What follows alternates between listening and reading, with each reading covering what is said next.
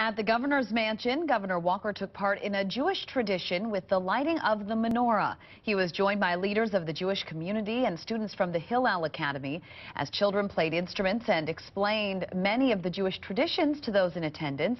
Governor Walker explained what the event means to him. So when I think of the Festival Lights, I think not only of the darkness driven out by the light, but equally of greater importance any hatred in the world driven out by, by love uh, and good. Well, this was the 11th year of the Festival of Lights, a tradition that Walker says started when he was the Milwaukee County executive.